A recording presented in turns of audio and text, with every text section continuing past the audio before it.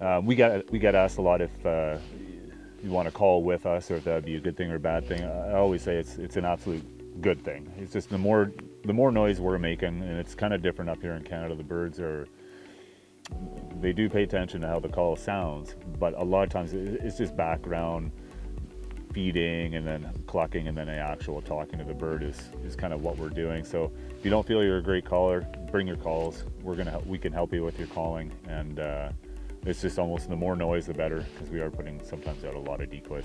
Um, we blow uh, Moltke gear. Um, Scott, thanks so much for making these things for us. They're absolutely awesome.